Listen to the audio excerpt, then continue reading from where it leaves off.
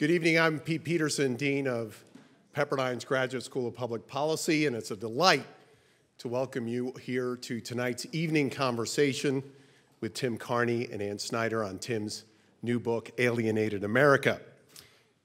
It probably would not be um, nice to rub in the fact that I have a return ticket tomorrow to Malibu, California. but as I understand it, actually, tomorrow is supposed to be 60 degrees and sunny which all goes to show that even your weather is polarized here in Washington. Uh, polarization is something we care a lot about at the Graduate Policy School of Pepperdine. Uh, as I've noted on a few other occasions, as a school founded by the late great political scientist James Q. Wilson, we definitely care about the moral sense. And if there's a time in American politics in which we really should be asking more incisive questions about things that really can't be easily measured. It's this time in our politics and policy. About two years ago, uh, we launched something at the Graduate Policy School called the American Project on the Future of Conservatism. This was an initiative started as a way of exploring uh, the future of conservative thought and its impact on American public policy. Though we are a, bi- a nonpartisan institution, these are a set of issues that, again, as a school founded by James Q. Wilson and taught by Jack Kemp and Michael Novak and Victor Davis Hanson and others, we have a, a strong affinity to that side of uh, thought. And it might not surprise many of you to know that in much of academia, this exploration, even a, a friendly exploration of conservative thought, is something you don't usually see. When we began the effort in 2017, one of the first things that we did was convene a group of academics and activists on our Malibu campus in June to uh, begin a conversation about what is the future of conservatism, what defines it, and how will it impact public policy. And I have to say, it was the hardest thing that I've ever done professionally. Um, as someone who uh, is a facilitator of uh, meetings, uh, I tried to do my best not to lead towards a particular outcome. And with the co-director of the American Project, Rich Taffel, who is here tonight, uh, we designed a series of conversations over a long weekend that was going to explore a series of issues uh, and uh, the role that conservatives and conservatism might play. What began as a series of arguments over the future of the American presidency thankfully did not end there. And by the end of the long weekend, we resolved in a place I could never have imagined. Uh, across this group of 35 academics and activists, people from across the right side of the, the conservative spectrum, there was a general consensus that really our problems were not political, they were actually cultural. And specifically, that our issues were really a challenge uh, were being challenged by a pervasive alienation and loneliness. Um, that was something that, frankly, cut across political categories. But it was understood among this group and then following in the, in the months that followed that unless we were addressing these issues of alienation and disconnection, ones that our political climate are actually making worse, um, we weren't really going to resolve the toughest challenges uh, facing America. That led to a principles document called A Way Forward, which anyone that's interested can find it up on our AmericanProject.org website, and a series of following conversations to look at how can a more communitarian conservatism be reimagined for the 21st century, and what role does it play in public policy. One of the speakers at our June 2018 convening on our Malibu campus is Tim Carney. And I learned from Tim that he was working on this book. And as someone who has read an advanced copy of it, I couldn't be more excited about what you've done, Tim. And I really do hope that this book has the impact that it deserves. Because the arguments that you're making are at once um, classical but extremely contemporary. And at the same time, I think that one of the great failings of our politics in the last now seven years is that when Charles Murray came out with Coming Apart, a lot of people said how smart that book was, but nobody did a darn thing about it. And so I think what you've done, it's easy to dismiss a prophet, it's not easy to dismiss a reporter. And what was prophesied in 2012 with Murray has now been reported and looked back on, and in many ways looking forward. And so, again, I'm, I'm so excited to be uh, co hosting through our American Project this conversation. And so, without any further ado, please join my friend, uh, Cherie Harder, to introduce tonight's speakers.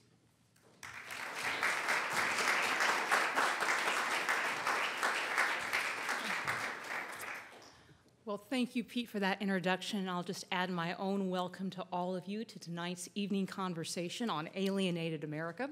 As Pete noted, this is part of an ongoing partnership between the Trinity Forum and the Pepperdine School of Public Policy, where we have tackled such light topics as reforming public theology, the role of friendship in the political imagination, the strange persistence of guilt in a post-religion world, full religious world, as well as tonight tackling loneliness and alienation. Uh, we're really grateful for the partnership with Pepperdine and with, with you, Pete. It has been a delight and a joy.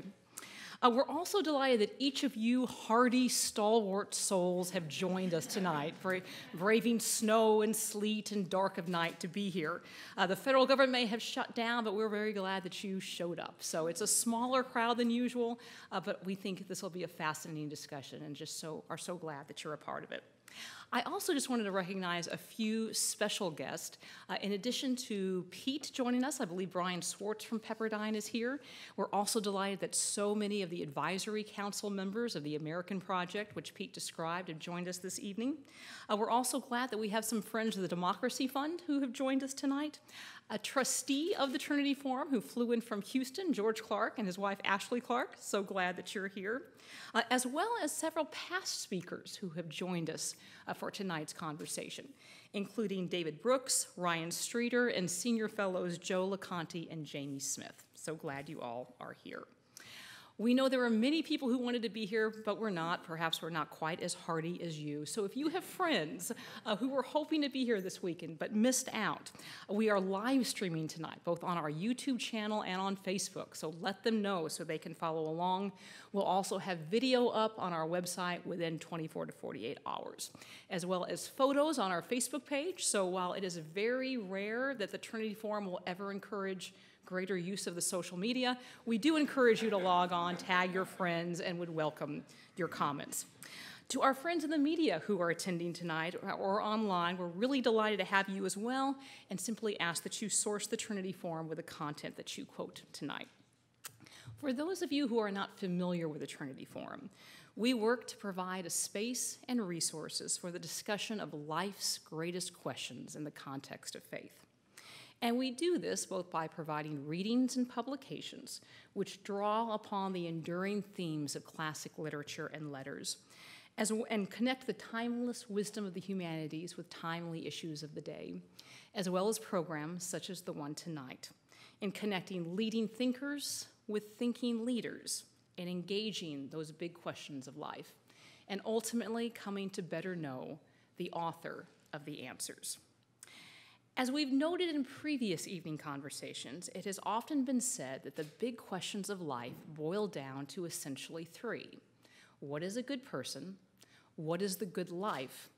And what is the just society?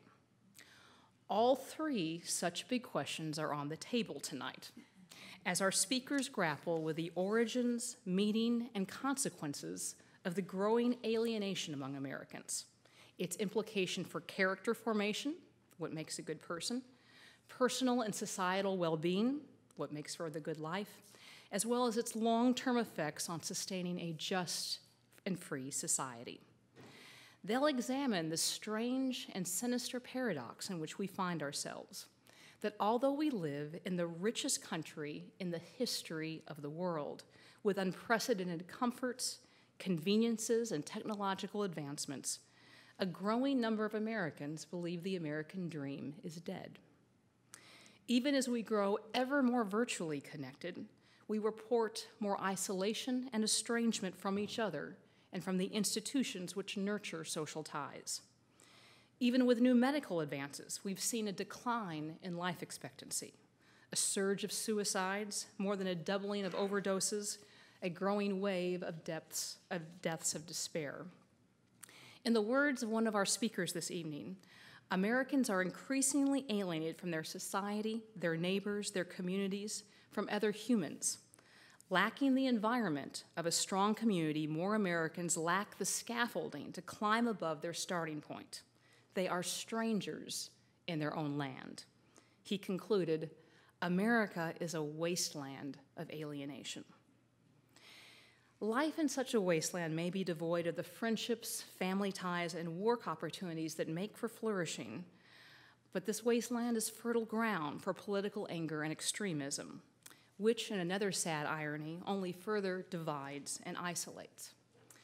So, what then can we do to reconnect the alienated, restores the ties that bind and build people, neighborhoods, and communities, and reinvigorate the character forming and life shaping relationships and institutions that both ground and grow us. In his new and excellent book, Alienated America Why Some Places Thrive While Others Collapse, our keynote speaker tonight argues that the fundamental crisis facing the body politic today, the erosion of local civil society, may be nationalist in scope, but is certainly localized in both origin and manifestation, and that therefore the most potent responses will also be local, relational, and institutional, as opposed to a broad, sweeping national political solution. Further, he argues, given the evidence that the most pervasive and powerful localized engines of civil society are the churches, synagogues, and mosques of America, the reinvigoration of local civil society, he argues, necessarily depends on the revitalization of the houses of worship in the U.S. It is a provocative, fascinating, and countercultural argument, and one that our keynote speaker tonight makes with no small amount of energy, insight, and relished reporting enthusiasm. Tim Carney is the author of the newly released book, Alienated America Why Some Places Thrive While Others Collapse, as well as the commentary editor of the Washington Examiner and a visiting fellow at the American Enterprise Institute. A prolific author and columnist, he's written for the Wall Street Journal, the Washington Post, the New York Times, and many other publications as well. His earlier books include The Big Ripoff and Obamanomics, an alumnus of St. John's College, as well as a New York native, Tim now lives in the DC area with his wife, Katie, and six children, proving that in addition to his other talents, he is both a master of uh, time management and, uh, and multitasking. Responding to, uh, to Tim will be Anne Snyder. Anne is a writer and a convener focused on questions of class, culture, beauty, and a beatitudinal faith. She currently directs the Philanthropy Roundtable's Character Initiative, a pilot program that seeks to help foundations and business leaders strengthen the middle ring of morally formative institutions, those which mediate between the state and the individual. Another widely published writer, she is a fellow at the Center for uh, Opportunity Urbanism, a Houston based think tank that explores how, uh, how cities can drive opportunity for all of their citizens. Her latest and imminently forthcoming book, The Fabric of Our Character A Wise Giver's Guide to Supporting Social and Moral Renewal, will be released in less than a month on March 15th, 2019, which we commend to your attention. She is also, I am very proud to say, our newest senior fellow of the Trinity Forum. After Tim provides opening remarks and Anne responds, the three of us will have a very brief, moderated conversation followed by questions from the audience. Tim, welcome.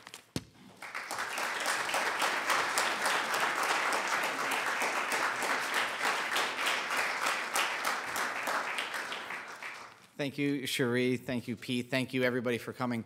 Um, you mentioned we, uh, we have a bunch of kids, but having a book come out is a lot like having a baby come out, but then you have to bring the baby up onto stage in front of a bunch of people and defend it. So it can be a, a, a little nerve wracking. But I, I, wrote the book because I have a story about the American dream, and specifically about this idea that it's dead. And so it's a story about faith, it's a story about family, it's a story about community, but it's also a story about how Donald Trump became the president of the United States. I'm a political reporter, so the story begins in Iowa, and because I'm an Irish Catholic, the story begins in a bar. A sports pub called Joe's Place in Iowa City a few weeks before the Iowa caucuses. I met a, met a couple. She worked at the uh, university there, and she told me she'd grown up in Iowa, and this was 2016 was maybe my third or fourth caucus that I caucuses that I'd covered. And so I said, Where? And she said, Orange City, which was a place I'd never been. Now, again, I'm an Irish Catholic. I'm a little obsessed with ethnicity. So when I hear the color orange, I can get a little triggered. I was wondering, is this, is this some county full of Ulstermen up there in north, northwest Iowa? So he said the orange referred to the Dutch heritage and that about half of the people there had Dutch ancestry. So I said, just, just how Dutch is it? She said, I used to wear wooden clogs marching past Windmill Park they, they would push brooms down the street as part of something called the Tulip Festival Parade. So this was like a Simpsons episode send up of a Midwestern town that, that's Dutch. And her name was Holly Vander something. I don't exactly remember it. but so I went off, I went off to Sioux County, Iowa, where Orange City is to see what made the, these people tick. And uh, I was greeted by a sign that was literally in the shape of a clog.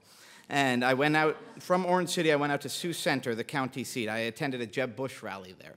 Two things I noticed. Yes, they really were Dutch. All the old ladies were named Wilhelmina, which was the name of the Queen of the Netherlands from World War I, World War II. Two, I noticed a strong antipathy towards Donald Trump. This is ahead of the caucuses. So there's a lot of Rubio supporters, Jeb supporters, some Cruz supporters. One questioner wouldn't even say his name, said a candidate with the initial DT. I went up, I found a, a, local pastor, and he said that of the 900 people in his congregation, he knew one who was supporting Trump in the caucuses.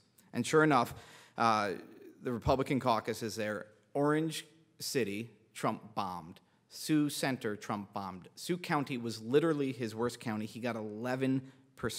And his other worst counties included two other predominantly Dutch counties uh, Lyon County next door, and Marion, where, uh, where Pella, Iowa is located.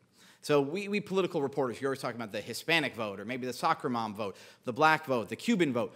I was beginning to think maybe there's a Dutch vote. So come March, I look out at western Michigan, where Holland, Michigan is, and sure enough, the five counties Ted Cruz won were the five county west, uh, the five Dutch counties in western Michigan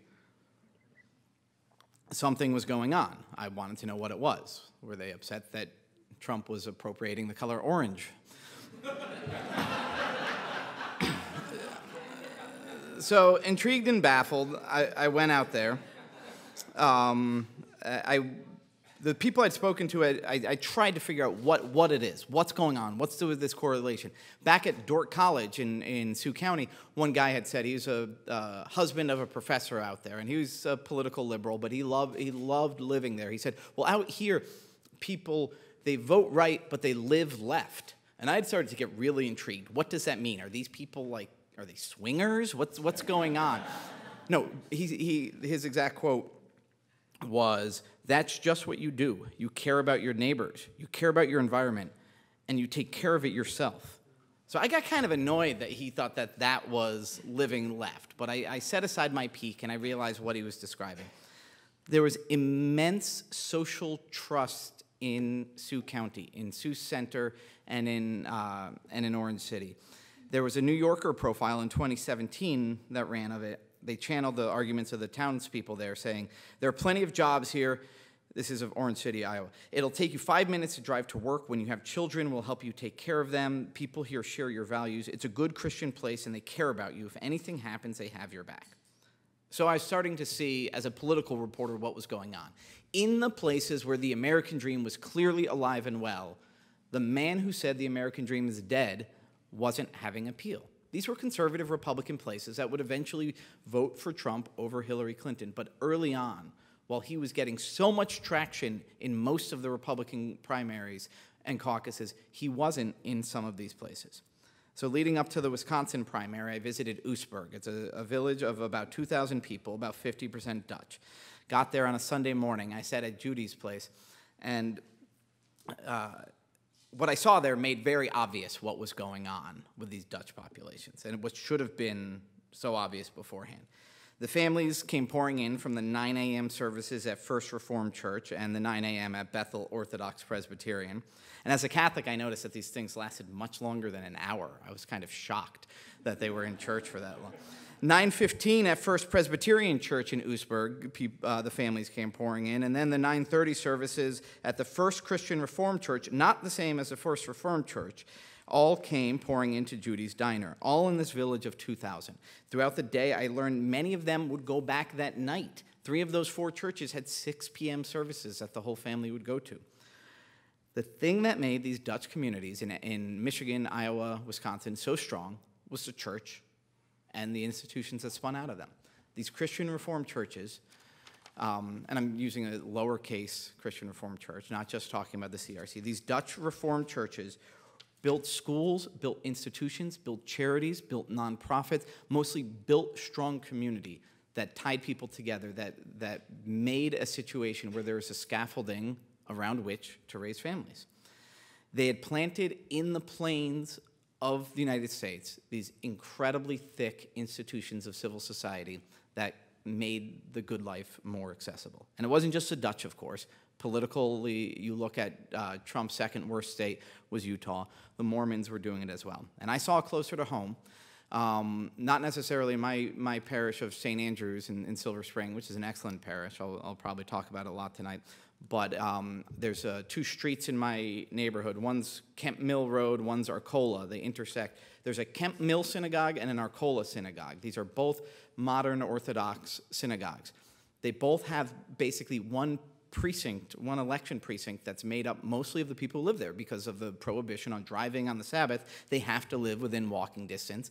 And so these, these precincts these were overwhelmingly uh, Ted Cruz in the Republican primaries. I don't think it was a, a, a, love for Ted Cruz so much as it was there were two choices the man who said the American dream was dead, and this other guy who was um, offering whatever he was offering, it wasn't as dour of a message. Funny thing about living in this neighborhood and having six kids is when my wife shows up at the grocery store with the six kids. Uh, she often gets somebody warning her, I'm sorry, uh, ma'am, that that beef there is not the kosher beef. And she, she has to tell them, it's fine, we're not going to eat it on Friday, so it won't violate any of our rules. but so the same day that Cruz carried the Orthodox precincts of Silver Spring, I'd spent the morning a bit down the road in, in Montgomery County at the village of Chevy Chase. So this is the wealthiest municipality this is not sort of the lesser Chevy Chases, such as where Brett Kavanaugh lived, which I think was Chevy Chase Section 5, or DC Chevy Chase. This is the village, the wealthiest municipality in the wealthiest region, in the wealthiest country in the history of the world. And uh, like the village of Oostburg, the population is 2,000. Uh, the average home price is 10 times the average home price in the village of Oostburg, 1.5 million. The, um, Trump, who got 54% statewide in Maryland, and who won Montgomery County, believe it or not, he got only 16% in Chevy Chase. The elites were rejecting Trump. And in addition, go back to Michigan. In addition to losing Western Michigan, he also lost Grosse Pointe and Ann Arbor. Just as he couldn't get to 20% in Sioux and Marion County, he couldn't get to 20% in Iowa's Johnson and Story County, which are two of the most educated counties in all of America. South of Oostburg, Trump's worst counties in Wisconsin were uh, Waukesha, Ozaukee, and Washington, highly educated, wealthy. So here I need to address something. Uh, this audience, a lot of this audience already knows this is, is false, but it's a, a false belief I call the Lena Dunham fallacy.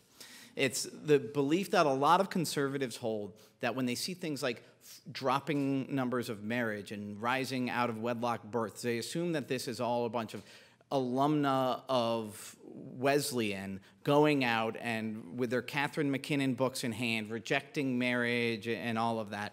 Um, no, the elites, and there's uh, dozens of good liberal and conservative authors who say this, the elites are practicing what we Christian conservatives are preaching.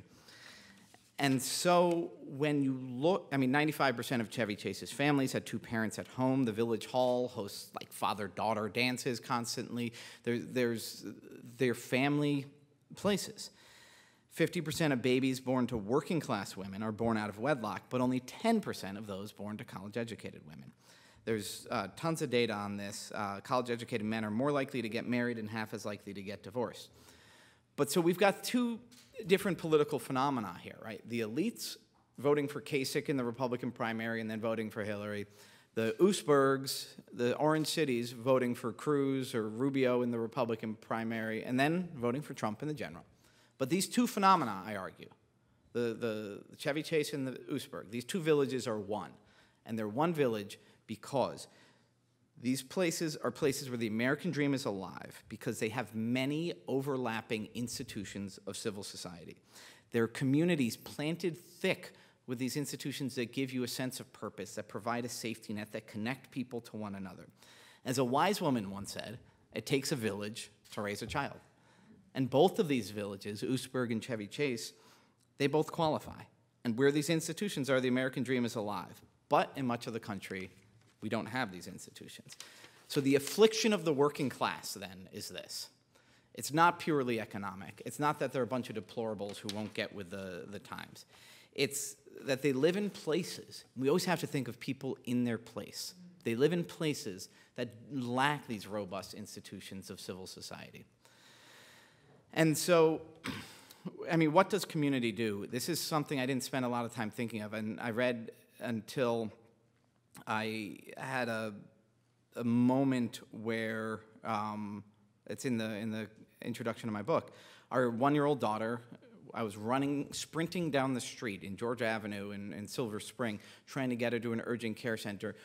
Uh, my wife and I had done, if any of you are, are, Catholics, you know this, and, and have kids, you know this strategy. We call it divide and conquer, right? Where you've got, you don't want to bring all the kids to, to Mass. So one of you goes to 8.30 Mass and one of you goes to 11.30. It's not optimal. You can't do that at the Christian Reformed Church where there's only a 9:30, but you can do that as a Catholic. But this this time we had a good excuse that Eve was really sick. But so my wife and the oldest daughter are off at the 11:30, and she has a minivan that has a baby car seat, and so I'm, I, you can't just buckle the baby into the back. So with a jogging stroller, I'm sprinting to the urgent care center trying to call her, but you, you don't answer the phone during mass, and so I'm not getting through to her. And so I'm sprinting down. Finally, she sees a text from me and sees what's going on and comes and meets me, and we end up in the hospital. And um, at some point, when I'm describing to the nurses why we have so much chocolate and food, and against the hospital rules, beer being delivered to us. I said, well, that was a family from our pool. That was a family from our parish. That was a family from our boys' school. That was somebody from the Examiner. That was somebody from AEI. That was somebody from a, a conservative libertarian nonprofit on which I used to serve on the board. All these friends who I just thought of as a swarm of friends, every time I tried to explain them to somebody else, there was an institution, there was a mediating institution that had formed and strengthened this bond. And so that safety net is a huge part of what community does. Another big part of what community does is providing a sense of purpose, is people need you. Somebody, they need somebody to coach kindergarten girls basketball. This is literally something I did. It's totally absurd that kindergarten girls basketball exists, but it does, and I coached it, and in the end, somehow, somehow I, I loved it. Um, but there, there's other stuff. So that's the, the safety net, the sense of purpose, the modeling. Um, then there's a lot of interesting economic data. Raj Chetty, a researcher in association with Stanford and Harvard, found that when it came to upward mobility, intact families and uh, strong social capital by various measures were the two things that most predict on the local level were the two things that most predicted upward mobility. So institutions of civil society, they catch you when they fall, they give you a sense of purpose, they provide good modeling, and they help you climb the ladder. They're little platoons, and they are the beating heart of the American dream. So again, what's going on in the places where the dream is dead? so as a reporter, one of my colleagues used a term for part of the way I do my job that I hadn't necessarily come up with, and I didn't necessarily love it when he put out in public. But he said, Tim Carney's very good at bar reporting. Bar reporting is when you go to a bar and you talk to the people, and, and you, you I found out after a while, there's certain bars you don't go to. You don't go to college bars because they're mostly from out of state and they don't vote. If you go to a hotel bar, again, they're mostly out of towners. Sadly, I found uh, I went to bars that had high immigrant populations. I had a little bit of Spanish, but again, they're not talking about politics, very low involvement in national politics. But I also, so I, I settled on yuppie Irish pubs, basically, because there were liberals, there were conservatives, there were men, there were women, there was old, there was young. But what I had stopped going to had been sort of the country roadside bars. When Trump came around, you had to go back to those bars. And, um, and so that's where, uh, where I went to in, in some of these places. In Fayette County, Pennsylvania. I settled on that because I found some graduate student had done a study on drop off in religious uh, affiliation. And Fayette had the, if I wanted to combine drop off in uh, Catholicism and drop off in evangelical Protestantism, Fayette County had, had the biggest drop off. Um, I found out after I went there that it was also in the top two on unemployment, on disability, on all sorts of negative measures. And thanks to Yelp, which I didn't have when I was doing bar reporting in 2004. I found there was a roadside bar called Smitty's that was renowned for excellent wings. Um, but Smitty's fit the, the, fit the bill of a Trump bar because you have to drive there, uh, which was, again, not something I was used to coming from uh, living in the DC area, coming from uh, Westchester County. You, you walk to your local pub. Driving would not be a prudent thing to do, but you drive there. Um, Fayette County's overdose death rate is 57 per 100,000. That's 50% higher than the state average, twice the national average. So this is, this is not a, a, an uplifting place. But I went into Smitty's, and I'm talking to people there, and sure enough, they're all voting for Trump. Um, they, they, cited guns as a number one issue, but you ask them about the economy, and pretty soon the, the conversation turns to uh, welfare programs and abuse of it. And in anecdotes that are always second or third hand and a little bit racially tinged, you get stories about the welfare mom who's using food stamps to buy T-bone steaks for her dog, or the person on disability who's using that money to buy drugs and deal it. And so, uh, being a reporter, another, in addition to bar reporting, one of my tactics um, of reporting I call being kind of a jerk. That is, prodding people in ways that no polite person would do. This is what we do as journalists, right? We, we, we talk to people in their worst moments. We, we just ask them questions that are rude. And so this one guy was explaining to me, Dave, he's you know explaining to me, well, he can't work because he's on disability. I said, you know, what's your disability? Well, my back. And he gives me a detailed description of all his back surgeries. And he says, so, so I can't stand and I can't sit still for too long. And so I just point out to him, I say, Dave, you've been at this bar on a Tuesday afternoon for a few hours. Now, before you turn this accusation on me, I was working, okay? This was literally my job. But I say, Dave, You've been sitting at this bar for at least two hours. And he says, Well, today I'm numb because this morning my son died. And again, Fayette County with 57 deaths per 100,000. The deaths of despair, the overdoses, the suicides, all of these things are much higher among the socially disconnected and in these socially disconnected places. Suicide rates by state by county, you see an inverse proportion to population density. The more isolated people are, the more these things happen. Psychiatrist Aaron Kheriaty explained that the rise in white middle-aged suicides, he said, quote, we're not living in community anymore. Dave was the one who half an hour before I had asked about sort of neighborliness. He said, I don't trust my neighbors. I keep a loaded gun by the side of my bed just in case any of them show up the bartender at Smitty said, I think there's drug dealers above me and, and, and quacks below me. Um, so these places, the suffering that some people tried to write off as, as fake, as just deplorables not wanting to get with the time, the suffering was real. Um, you had these deaths of despair, you have a retreat from marriage, uh, you have, uh, while out of wedlock births are falling across the United States, they're rising among the working class.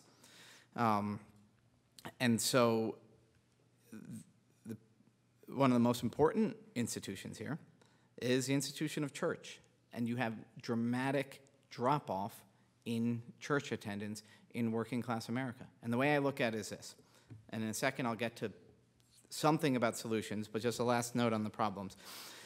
Um, secular America has secularized, and the secularization of America has been bearable for the elites. It's been bearable in Chevy Chase, which, by the way, isn't as secularized as you might think. Go to Blessed Sacrament, and the pews are a lot more filled there than they are if you go down. That's the Chevy Chase parish than if you go down to uh, Southern Maryland. But uh, in general, there's other institutions. There's not just a Chevy Chase Country Club. There's also just stronger public schools. There's alumni associations. There's strong. There's workplaces that function as institutions of civil society. Um, and church-going kids just generally have uh, better outcomes. But in so much of America, the secularization has left them without any institutions. So I wrote Alienated America, and it was, as Cherie mentioned, my third book. The first book, one of the criticisms of it was that there wasn't a solutions chapter at the end. It was like export, import bank bad, sugar subsidies bad, ethanol bad, index, bam. Um, so my publishers made me write a solutions chapter for my second book, which was also corporate welfare under Obama. And I look back at it, and like half of these solutions are horrible ideas. It's like gold standard, balanced budget amendment, all, all sorts of things that I, I totally do not agree with anymore. So I was kind of, kind of wary about writing a solutions chapter. Um, but that's only because I sort of think of it, what, what's the government policy going to be? But of course, centralization is one of the core driving forces of alienation.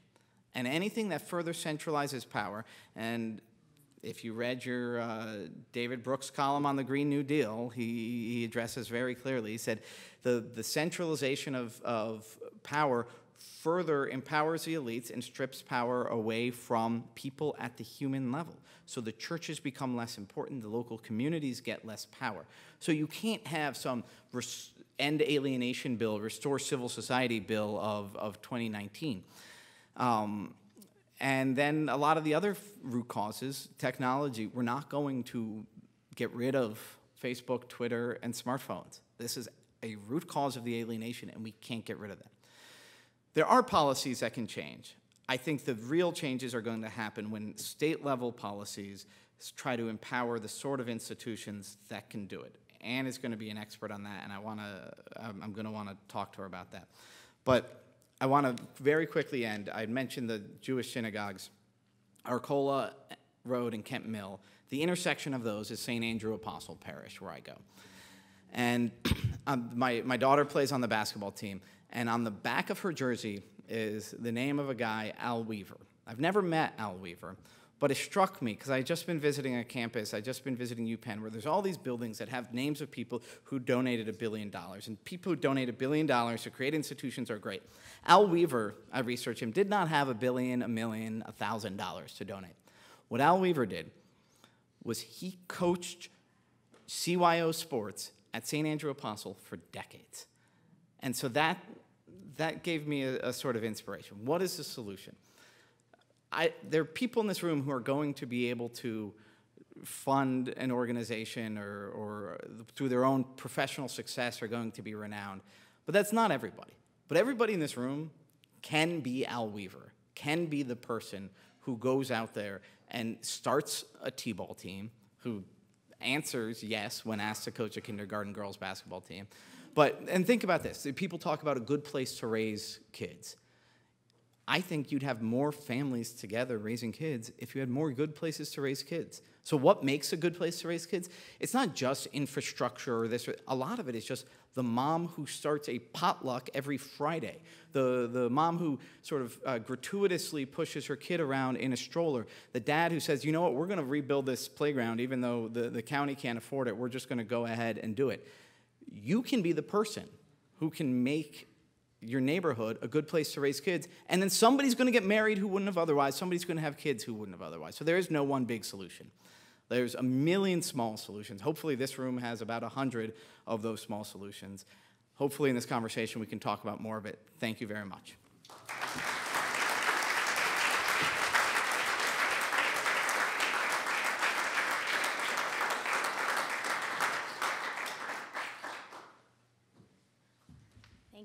Tim. So it's really an honor to be here tonight, and as um, Pete and Cherie said, to see stalwart souls who can somehow go through three inches of snow. Um, I've sat in your seats many, many times, and I never anticipated that I would cross this six foot chasm to stand here. Um, Cherie Harder, I just want to make a brief mention, has long been an exemplar and a friend. And um, I know I speak for many in this room if you've ever been to an event, and in Washington more broadly, and frankly, in um, you know, a lot of Christian circles more broadly and outside of Christian circles. Um, I think I speak for many and women in particular when I say that her grace and discernment and articulacy have shaped how a lot of us comport ourselves in the public square. So it's just really an honor to be here.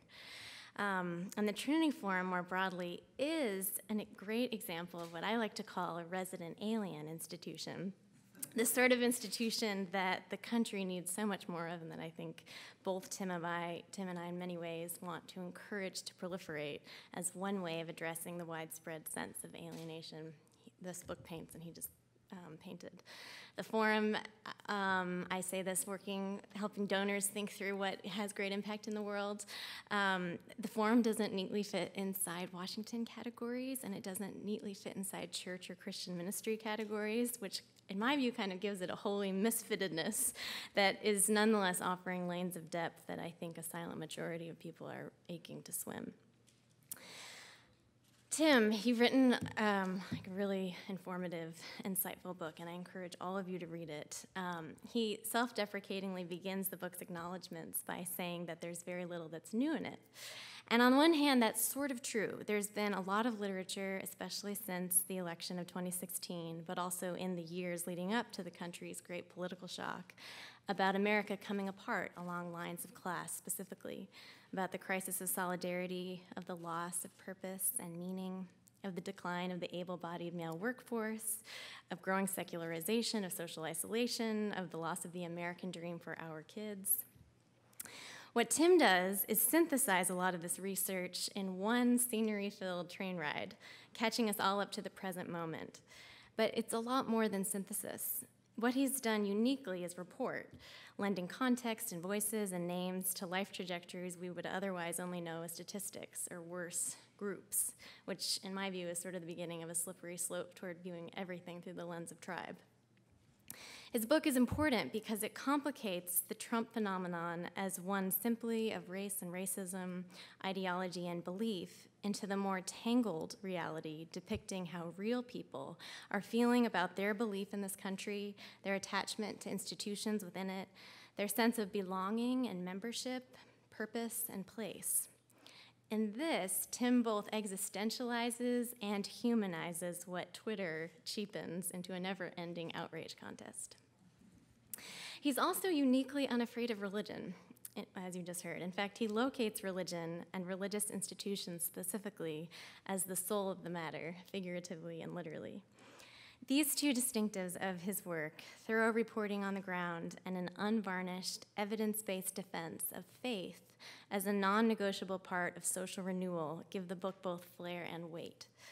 It's a wonderful contribution to perhaps the most important conversation happening in America today that of whether an ever renewing society is possible or whether it's inevitable that ours will eventually collapse like every other historic civilization. I learned a lot reading the book, and there are so many different things I could say, teasing out the productive lanes of inquiry it stimulated in me. But for the sake of time and coherence, I'm just going to narrow Tim's key contributions to three, and then dribble over to a few areas that I wish had, the book had covered, and then offer just a brief set of my own discoveries that I hope gets you out of here feeling like you have a new handhold to respond in your own spheres to some of the more discouraging realities the book addresses. So, first, what the book does really well. As a reader, you're invited by Tim to accompany him back through the fog of the last couple years to 2016, where it's tempting to assume so much began, but in fact, so much was really just being revealed to a lot of us. Donald Trump being a kind of orange band aid, um, ripping off layers of scabs, just barely covering raw and long festering wounds. Tim's just giving you a sense of the core nature of those wounds, namely the lack of attachment to a meaningful and sturdy web of communities and institutions, so I won't tease that out further. But the thing that I found striking was the clarity with which the book correlates the death of the American dream in certain quarters with the election of Donald Trump. It's ugly. And I'm going to quote you a couple sentences here from his book. Quote, you can use Trump's electoral strength in the early Republican primaries as a proxy for pessimism. Death rates, especially death by suicide and overdose, correlated with Trump's best counties. Later, he says, you could have predicted a county swing to Trump by looking at its rate of overdose deaths. And then more broadly, he says, people enmeshed in strong communities rejected Trump in the early primaries, while people alienated, abandoned, lacking social ties and community rushed to him immediately. This is a really crucial observation, I think. And if you think like a human being for a second, it actually makes sense. Um, I remember a bunch of years ago, um, time, there was a time in my life where everything I'd come to rely on as meaning makers and supporters had been uprooted family, place, job, faith. It was all awash and tossed into a chaotic tumbler that I neither understood nor liked. I found myself in Houston, a city that I moved to without knowing anybody, seeking a savior to help me navigate. I was looking for something dramatic, and in my case, it was God, to swoop in and make meaning of the shards of my life, provide help, rescue me, direct me. I was over spiritualizing everything as a potential providential grace or punishment in a raw need to locate a life raft. And so when I read these words of Tim's, I thought, well, I remember that visceral need for a strong man. In my case, it was a fanciful and simplistic notion of God, like in a flowing purple cape. But for those whose last couple decades have been defined by a rude robbing of employment and social scripts, foundational moral norms, and the institutions reinforcing them, Trump was the strong man. He provided a single narrative to, to explain their plight, a singular hope gesturing toward familiarity in the past, and a, in my view, a certain machismo that promised to defend this white working class and stick a finger in the eye of all of those condescending to their culture, their way of life, and their moral pride. But what this does yield, and there shouldn't be any mistake about it, is a reality where Trump as president is the crowning symptom of a great cancer in our society, and it's the cancer of disconnection. It will kill us if we don't start treating it aggressively. The second and most, most important thing Tim does throughout this book, really, really well, is to introduce a vocabulary of institutions, and he does so right from the very beginning. He opens with a poignant scene in the pediatric ICU with his daughter, who just endured a scary loss of oxygen, sound like sort of stopped breathing, while, um, while there a gradual unfurling of friend, friends came to support him and his wife, and he alluded to this, um, but I'm just going to actually read the quote because I think it's powerful. Um, in the moment, waking up at 4 a.m. with a sore neck in the tiny curtain booth of the PICU, is that how you say it? Okay. I had an image of a swarm of friends, family, and neighbors rallying to our aid. But as I considered it more during our stay, I saw in greater detail the contours of the support we were enjoying. As I thought about each person or couple who helped us or wrote or called, I noticed there weren't simple bilateral relationships. In almost every case, there was an institution that linked us. Again, this wasn't how we thought about our friends generally, they were just our friends. But whenever I described to others the help we got, I found myself speaking of the couple from our parish or the family from our pool. Some help came from parents at the same boys' school where our oldest sons go. Others are my college roommates, others are my work colleagues. He mentioned all this earlier. Our dense and broad network of friends, which had become a short term safety net, wasn't merely a network of friends. It was a network of organizations, companies, churches, schools, and clubs. The hubs that bound us to these friends are what we call institutions of civil society. Sociologists might say that during those five days, we were drawing on our deep res- reserves of social capital. This is really important. There is a lot, there are a lot of pro community voices right now, but they tend to leave out this institutional bit, in part because in many quarters, certainly amongst young people, institutions have become a bit of a four letter word associated with bureaucracy, stuckness, hierarchy, hypocrisy, oppression. We want to be more fluid, more grassrootsy, more networked, and thus free to be choosy, a little less covenantal. But Tim rightly says it wasn't merely a network of friends, it was a network of organizations, companies, churches, schools, and clubs. He's describing an ecosystem of norm establishing, norm sharing hubs. Hubs that you belong to, that give you membership and a role, that train you in how to behave, that are there for you in a crisis and there alongside you at a picnic, that have built in mentors and stories and songs that allow you to take things for granted because you've come to trust them, and that have just embodied wisdom in them. That's what institutions have. And he's saying that there are too many Americans for whom this life giving, moral making set of webs has been lost or has never even been experienced. I'm going to quote him again. He says Studies of individuals found Trump supporters doing just fine. Studies of places found Trump doing well where people were doing poorly. In other words, it wasn't that economically struggling individuals tacked to Trump, it was that voters in struggling or vulnerable places tracked, shifted toward Trump.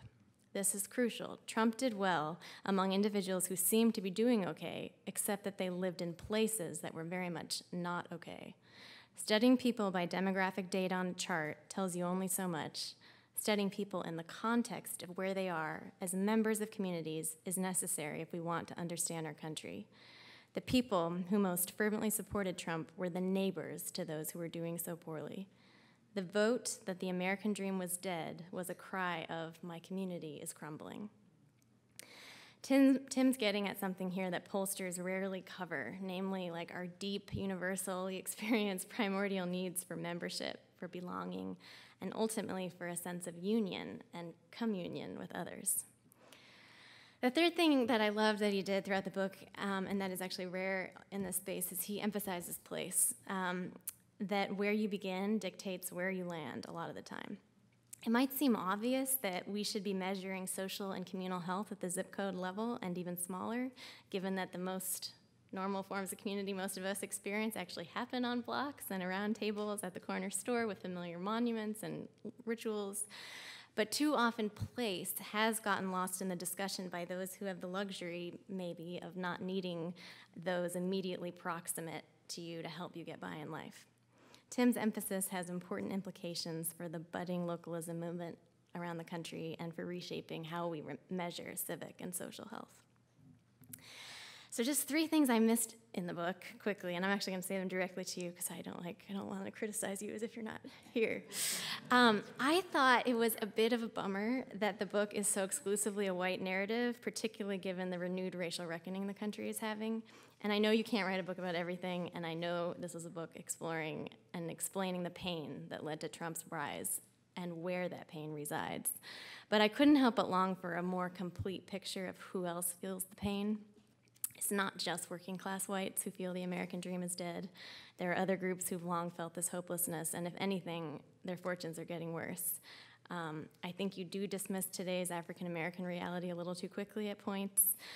And again, I understand that this was a book about Trump's most passionate base, but given how racially loaded his presidency has become, I might I would have appreciated a wider aperture on whose American dream is dead and whether there are overlapping forces in that death, but also overlapping forces, reasons for hope. Um, Number two, and you, and you did mention this in your, your, remarks and you allude to it throughout the book, but um, just I would love to talk to you more. Technology does seem like a huge factor in the story you're seeking to tell, both in the passion stoking around Trump early on and more fatally in the social and spiritual isolation you're describing. I was just surprised you didn't talk about this more and would love to hear your take on what impact it's had in the communities you've covered. Most of all, um, the thing that had me nodding vigorously and the thing that wrinkled my eyebrows was your exhortation that we just need to revive the church. You have, a, have a, you have a provocative line at the end of your first chapter where you're holding up Oostburg as the ideal village. I think I'm like 30% Dutch, so I should know how to pronounce that. But um, you say there could conceivably be more Oostburgs. The raw material is more renewable there, and arguably it used to be more plentiful and could be again. It's a sense of duty to one's neighbors, a duty that includes a sense of duty to one's family. It's a sense of both being looked after and being needed. It's a sense of common, higher purpose. It's shared, resilient, mediating institutions. And frankly, in America at least, that common purpose is a common faith, and those mediating institutions are really the church. So, that last line of your first chapter had me writing furious arguments in the margins, and they were arguments actually less with you than they were with myself, because I was really agreeing with you, and then I was like, uh, but this sounds a little bit like um, Catholic theocratic argument to me or something, even if that's not how you meant it.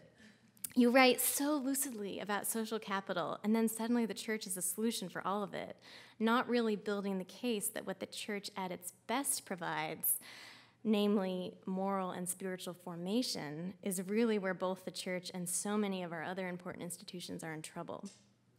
I'm just not sure the country is at a place culturally where it can start with church.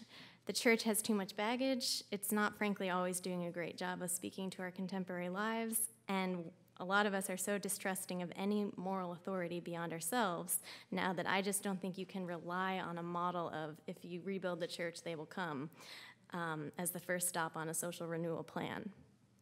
I just wondered if you could maybe be a little more subtle and, in some ways, more in tune with the historical fact that this country has been bound less by doctrine or bound less by one doctrine and more by a creed of human dignity inspired by the truths of that doctrine, I would argue. And this shared moral creed is both the heresy of America and its genius, its ongoing sort of lived hypocrisy, and its eternal aspiration that hopefully we're getting better achieving. And it's a creed that points to care for the other, even love, and carries with it a hidden logic that a wide variety of institutions, not just churches, could embody and transfer in fresh ways in our time. So, this just leaves me with my own little offering. Um, I've had the pleasure these last few years of exploring where great formation is happening today moral formation, civic formation, sometimes spiritual formation. I've gone everywhere from prisons to big universities to community colleges to charter schools to neighborhood revitalization efforts to artistic communities to adult learning communities to sports to Boy Scouts to the YMCA to rehab programs for former criminals, 12 steps programs to something as simple as an unlikely family of people from radically different backgrounds gathering for a weekly dinner on Thursdays.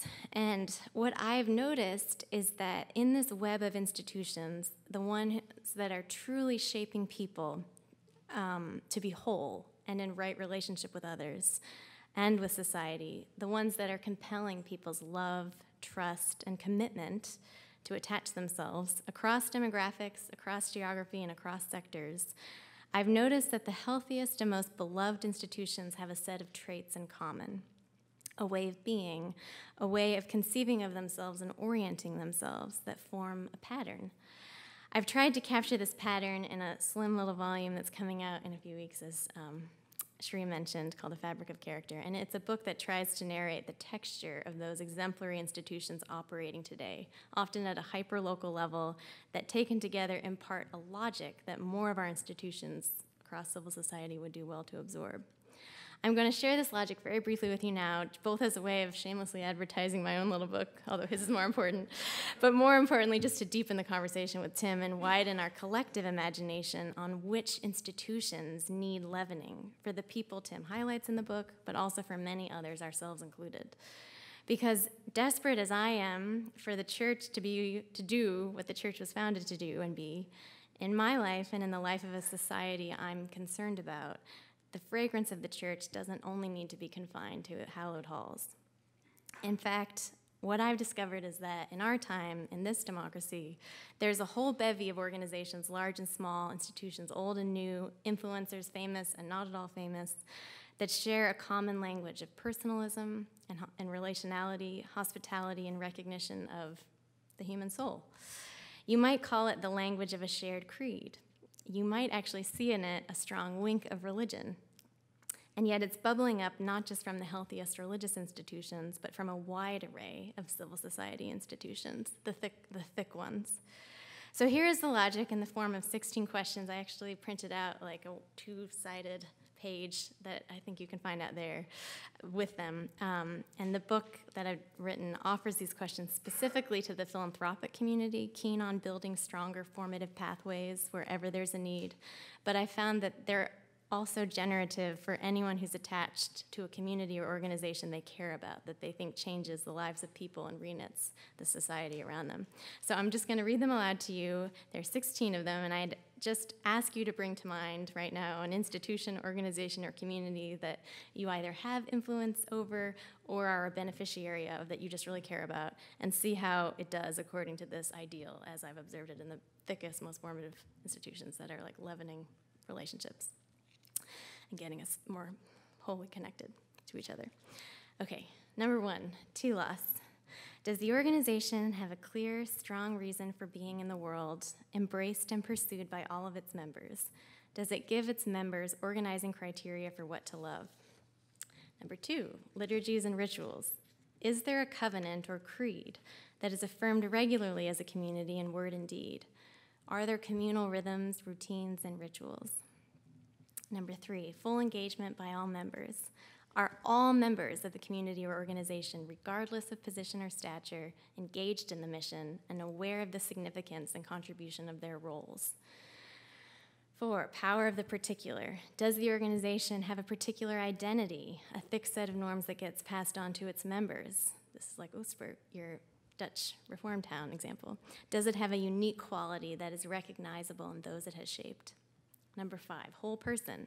Does the place or organization have a clear conception of the whole person, head, heart, and helping hand, and seek to develop it? Six, healthy relationships. Does the institution put relational health as the foundation for its success? Does the organization foster social trust? Does it have a strong sense of community? Seven, tech wise. Is the institution careful about the latest technological advance, embracing it insofar as it promotes healthy relationships and individual skill, and setting limits when it makes those objectives more difficult? Eight, intentional pluralism. Does it foster opportunities to relate to those unlike yourself? Are members consistently exposed to other worlds, trained in the arts of civility, deep listening, cross cultural agility? Struggle and growth. Number nine, are there opportunities for growth and tests of character? Does the organization have a process by which such struggles are given meaning and direction? 10. Vulnerability and accountability. Has psychological safety been established such that individuals feel free to be honest? Is there a structure of mutual accountability? Reflection. Are there built in processes for reflection and excavation of one's inner life and public fruits? Exemplars. Are there attentive and conscientious authority figures, like the coach who the building was named after, who serve as role models, coaches, and mentors? Does the leader set the character standard for the organization? 13, agency and initiative. Are all members of the organization empowered to act, create, and initiate? Are they encouraged to be responsible moral agents, not simply passive consumers? 14, joy. Is there joy in the house? Are hospitality and unconditional welcome a key part of the institution's DNA? 15, transformation. Are there consistent testimonies of whole person change in a positive direction? And the last one, generativity. When people depart from the formative institution, do they promote a similar culture in other contexts? Has the institution imparted a set of ideals that members want to live up to ever after? So that's a different kind of roadmap, I hope, um, that might help strengthen institutions in a variety of places in our country. So that's it. I'll leave it there.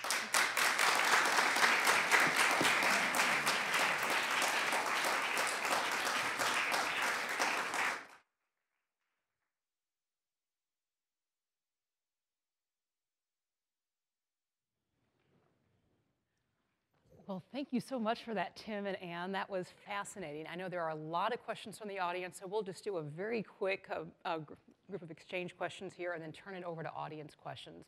And one obvious one that came to mind, um, Tim, you talked most in your, uh, your remarks today about Oostburg.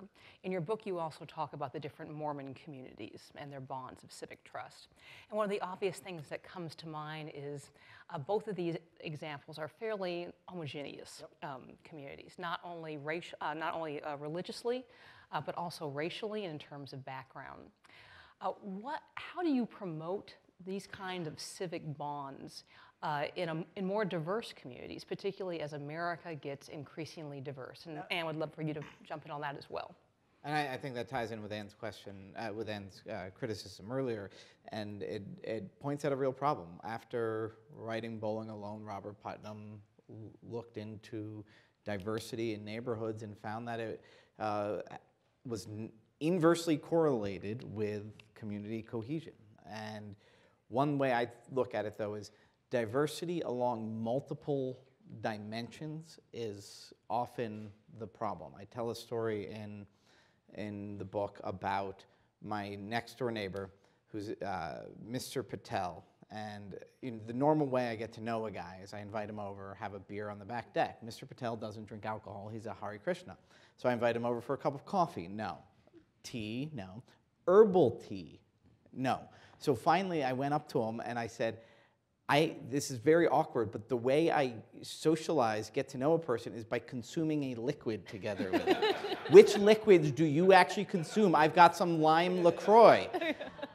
You don't put water into cans and bottles. That's destroying God's create. He refused to have the lime LaCroix. I said, what, what is it? He said, put some limes and, and lemons in a big vat of water and he'll do it. This was, and we, we had a great night drinking gently citrified water on the back deck but it was a huge obstacle that we had different norms, different moral views. So diversity, my own parish, St. Andrew, incredibly diverse. There was a Hispanic parish that shut down next door, a black parish, the school shut down. And so the most active parents of both of those parishes showed up. So we're diverse along socioeconomic and racial lines, but it's all people who were really dedicated to Catholic education of their children. And the reason this ends up happening is because I think part of a strong institution is going to be a joint higher purpose. And so you're going to have some level of homogeneity. Ideally, it's providing also the heterogeneity, the diversity. Like, again, my kids know more countries in Africa from our parish than I definitely knew as, as a mm-hmm. fourth grader that Malawi and Mozambique are two different countries. You wouldn't know if, if you went to a lot of Montgomery County public schools, to be honest, but at our parish it is. So the way that I would look at it is say, what institutions can we build? There has to be a common joint core to it, but it should have diversity that doesn't diminish the central purpose, but in fact can can add to it. So that, that's the challenge. In our parish, it was an accident of the two other ones shutting down. How to build that deliberately, you might have a better idea. I would just agree and say that um, diversity, there's a tension. I've thought a lot about this in my work. Originally, with this project, I was asked to go out and find these like beloved communities that are really forming people. And my little spin on it was I'm really looking for really diverse institutions that are nonetheless oriented towards a transcendent ideals. And that transcendent could be of God or like a little more lowercase t. Um, and I think diversity is a good when contained within an institution that, to what you just said, has like an ultimate purpose that is shared. Um, but it is not a good, and this is not a popular thing to say in sophisticated circles, but it's, it's turned out it's not a good just on the anonymous street. Um, um, and we could get into a, you know, a deeper sort of reflection on really diverse neighborhoods and how they're working well and how they've made that work. But usually there's some subtle institutionalizing going on. Um, and I mean, just this is a bit of a personal example, but about a year and a half ago, I, um, my husband and I are part of this Thursday night dinner, which I referenced, and um, it's a it's a motley crew of, of a lot of people from all different backgrounds, 19 to 25 year old kids. Um, and then a bunch of adults, and we get together every week for a meal and go around and say what we're thankful for and the highlights of the week. And you get into all sorts of conversations, um, and the kids, they're not really kids, they're young adults, come from pretty broken homes. And, um, and I met a woman at one of the dinners and got into this deep conversation. She uh, lost her husband years ago and there'd been some drug stuff amongst her sons. And we got into this like deep conversation about the nature of family and the inherent complexities of family. And it was like unusually satisfying and uplifting. And the next, very next morning, um, I walked to the metro, and there's this like group of um, homeless guys right near where I get on, and there was a woman who was about the same age, uh, although I wasn't thinking that at the time, who came, who came up to me in a more sort of berating way, um, asking for money, but also sort of accosting me with a variety of um, sentences that I just was like early in the morning, I was stressed about a meeting, and I just like literally walked as far away as I could to not engage her and get on the metro a different way. And I got on the train, and about five seconds into it, I just, there was something nagging at me and it hit me. I was like, that woman was the exact, probably same profile as the woman I had that really wonderful conversation with last night. But anonymity in this street corner context bred a sense of distrust and no thank you. And I was just struck by how, like, this community that has been formed over time is not anonymous at all because there's a set of norms we've all come to trust. So that's just an example of. So, Tim, you've argued that the unchurching of America is at the root of our economic and social problems. But you added um, a paragraph in your book that complicates your own argument that I'd love to have you tease out and address a bit. You reported that by many measures, the moderately religious are worse off than mm-hmm. either the very religious or the completely unchurched and unreligious. What is going on where a little bit of religion is more harmful than a lot or none? I, that, I mm-hmm. mean, I'd like a, a, theologian or someone a lot, lot smarter than me to answer this. But from the, the basic data and looking at it as a political reporter, one very close phenomenon to that is that the, again, I said the early Trump support was people who said the American dream is dead. The profile of that was evangelicals, white evangelicals who do not go to church. So the go to church, the easy reaction from a lot of my Christian conservative friends who early on were antagonistic to Trump was, oh, these are a bunch of hypocrites. They just like to talk about religion, but they don't believe it. I don't think that's the most interesting thing. I think it's a lack of belonging. So the, the moderately religious might be, and this the, the data I found on that, you can't fully prove this, but I think there's a good chance that it's people who uh, ascribe to religious beliefs and value it, but don't belong to a religious community. And the belonging, the attending, all of that is, is a key determinant of a lot of these positive outcomes, is what a lot of the social science ends up showing. And the, the, there's lots that we could go on with. We could talk about the geography of some of this and, and the different, you know, again, there's theological questions. But for a lot of people in America, religion is becoming sort of a political view. And so this is a guess because the, there's data that tells similar stories, but it's not, we can't, we don't know for sure. But that the moderately religious might largely be people for whom it's sort of a, a bland identity that's not rooted in a real institution and a real community. And the heavily religious are more likely to be enmeshed in those communities. And then um, you just have uh, more people in, in, the, in the less religious circle who seek their communities outside of religion. So that would be my guess as to that explanation. And as someone with an expertise in morally formative institutions, would love your ideas on why that might be so. It was such a fascinating part of your mm-hmm. book. It explained so much about evangelicals and Trump to me, so thank you for that. Um, the, fear, the fierce support for Trump in the early primaries. Um, this is just occurring to me now, so maybe uh, just a theory off the side of my hip, but um, there's something about uh, like when you really when you're when you're attending and participating in like an evangelical church or any institution over time it's kind of like a family. Like you rub into things you disagree with it, it, it, there's friction and that sort of gem tumbler process yields um, it, it's no longer as much like part of it's part of it's deeply part of your identity but it's part of a set of identities of behavior of like moral conscience of like just your your formation it's not uh, whereas I think somehow, sometimes when you attach yourself to a label, like there was one thing in your book about how evangel- the evangelicals who went more spiritually to Trump never, never attended church, but they're the ones most likely to say, I really value religious values yep. or something. That's kind of like an unquestioned, it just mm-hmm. becomes. It's just an identity. So it's, it's like a public identity that's not actually privately internalized. Well, so much more to ask, but we're already over time, so we're going to move to what's always our most dynamic part of the evening, which is hearing from you in the audience. Uh, so if you have questions for either of our speakers, those of you who have been to evening conversations before know that we offer three guidelines for questions. One, we ask that all questions be brief, all questions be civil, and that all questions be in the form of a question. And I see Logan and Matthew are ready to go with microphones. So, yes, uh, right there. If you could stand so it's easier for him to see you, that'd be great.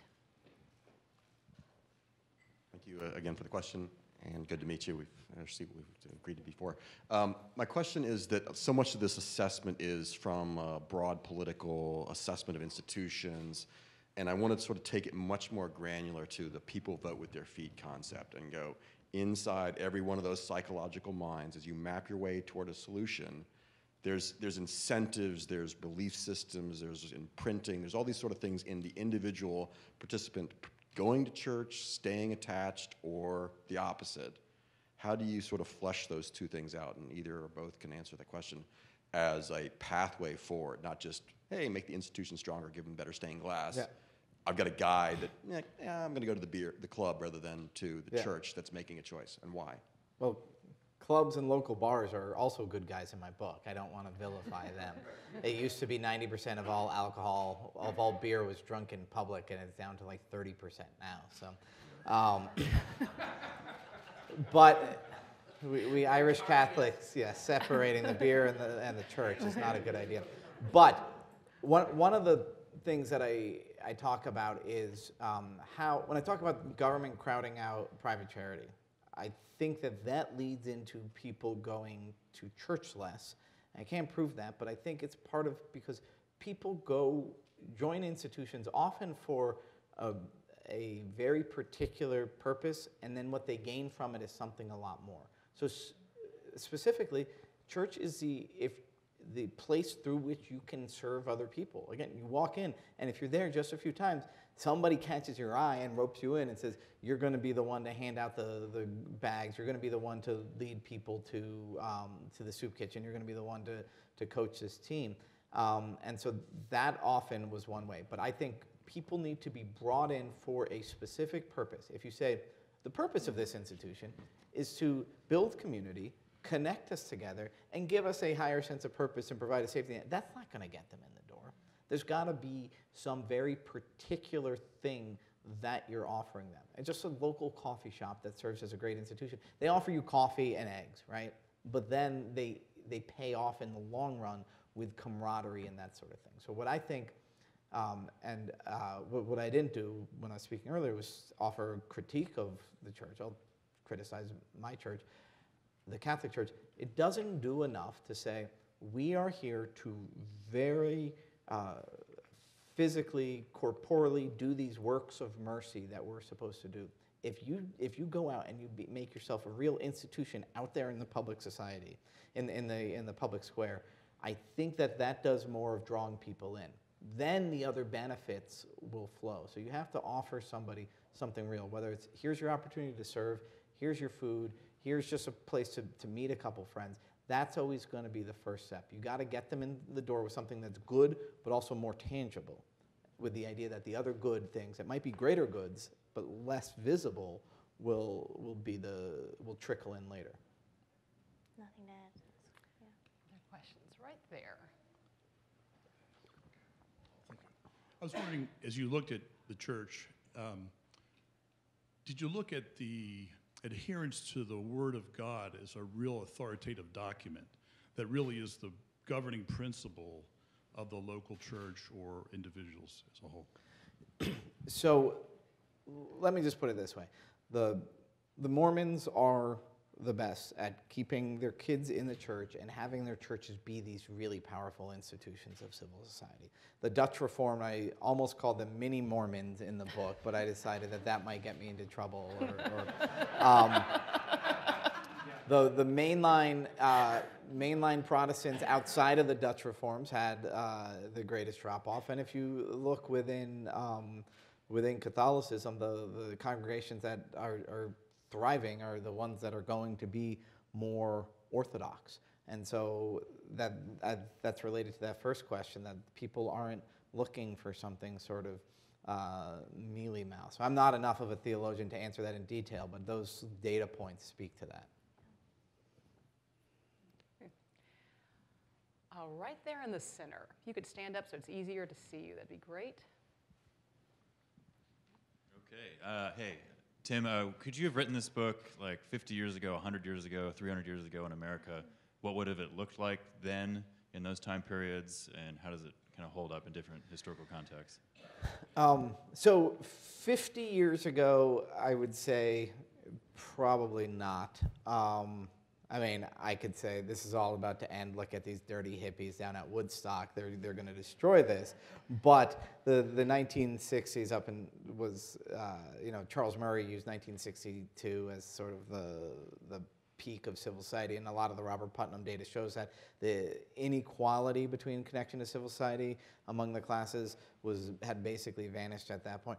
But one of the books I cite and where I get my definition of alienation comes from Robert Nisbet's The Quest for Community, which was written in what the 40s, and so there is something there. And so this is one of the things I think all conservatives have to think, or anybody assessing our current situation has to think about is there was something of an aberration in the 15, 18 years after the war mm-hmm. where we had more of this equality among white people, um, but that there was more, there was less racial, there was less class divide among this. There was stronger civil society, um, and that was an aberration. And maybe it was an aberration that was based on the back of these other um, abominations of racial discrimination, mo- most prominently. But that, uh, so yeah, as, as a conservative, I always try to make sure that I'm not glorifying some past period. But the truth is, in a lot of ways, in 1955 to 1962, there was a lot more solidarity. Um, I don't know about writing it um, 100 years ago, but we, when you talk about that cycle, another thing, my, my response to one of, one of Anne's criticisms is America has had lots of great awakenings and religious awakenings. And so we have had that. So there have been ups and downs. So I don't think it's pie in the sky for me to hope that it could happen again. Anne, anything to add? No, I'm, I'm still arguing with myself about, I'm totally with you. I, I could tell a long example, but when I think about this country's problems, I always land at we just need like a big spiritual awakening. So that is actually where I sit. I just think when I heard that all of the mediating institutions in this country are the church, and I, in a lot of my work, I've been very, um, I've been so disarmed by and moved by um, institutions that quietly actually come from some theological roots, um, even if that's not what's said on their website or whatever. So I, I have wondered, like, there's a big, there's a, there's something going on out there that is like deeply religious in nature. It just may not look like the, the church on the cover here. Fresh expressions, I guess I would put it. Yeah. We're going to take one last question. Hi there. Um, uh, sort of following up on um, these sort of dual perspectives of the solution being um, sort of rebuilding the church um, as the solution to um, societal fragmentation and alienation uh, versus finding that sort of uh, reunification outside of the church in a more uh, perhaps secular context given uh, the trend of secularization in America. I just wonder if even among uh, nominal uh, Judeo Christian Americans.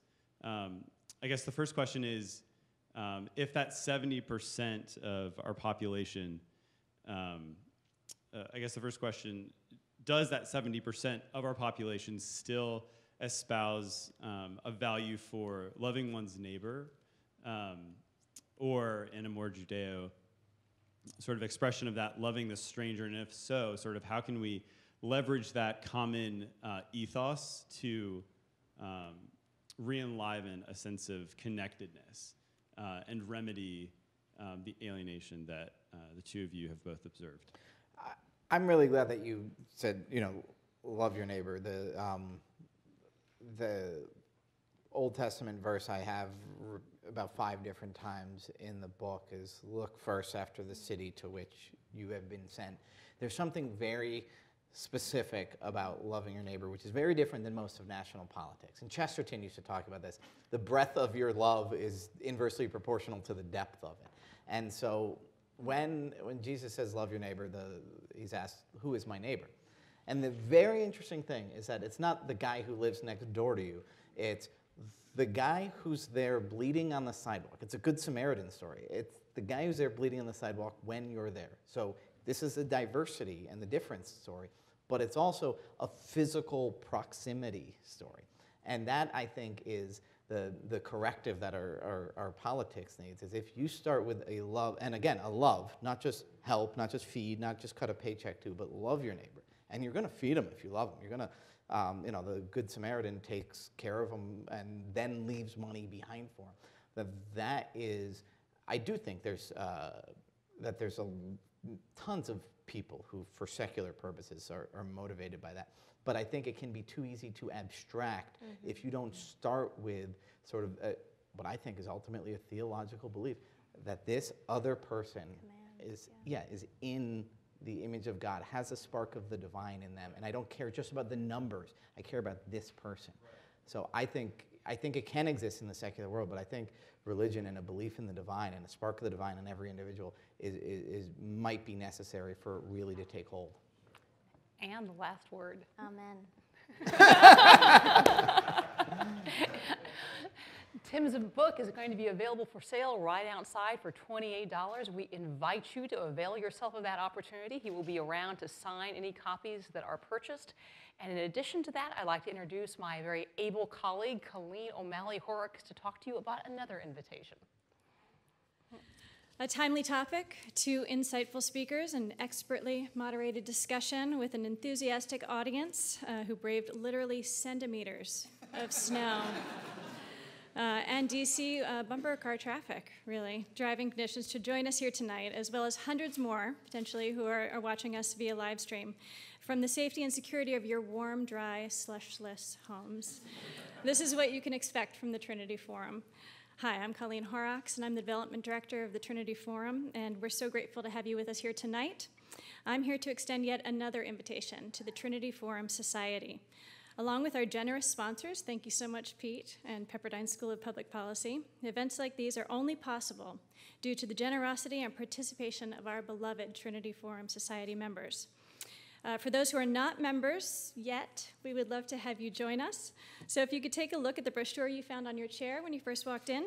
As a member, friend, patron, sponsor, or benefactor of the Trinity Forum Society, you'll receive not only discounted registration to events like the one you have uh, experienced tonight, but you'll also receive our quarterly readings filled with timeless truths from authors of the past, made all the more timely by introductions by leading authors of today and made all the more engaging by thoughtful discussion questions which tie everything together at the end. Cherie likes to call them a book club in a bag.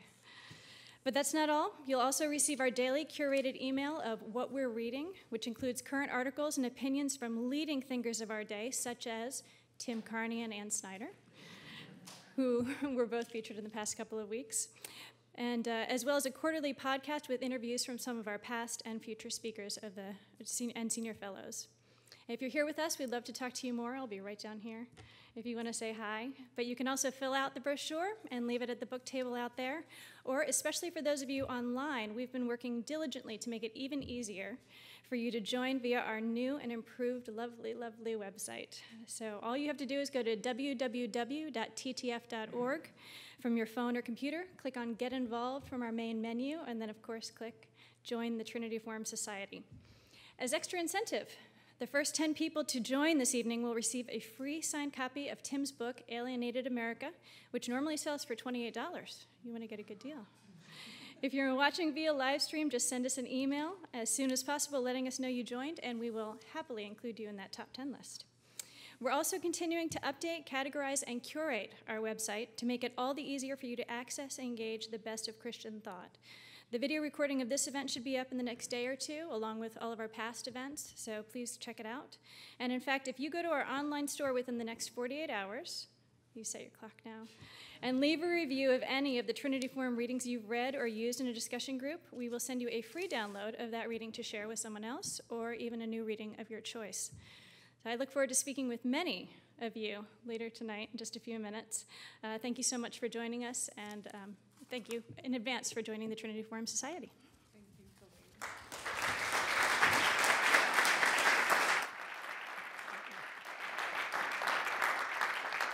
Finally, as we wrap up, it's always appropriate to end with thanks. And as you can imagine, an evening like this does not happen without many people deserving those things.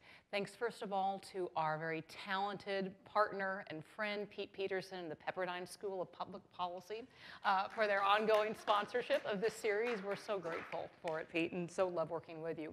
We've had a number of volunteers who braved their way through those uh, storied centimeters of snow to be with us tonight.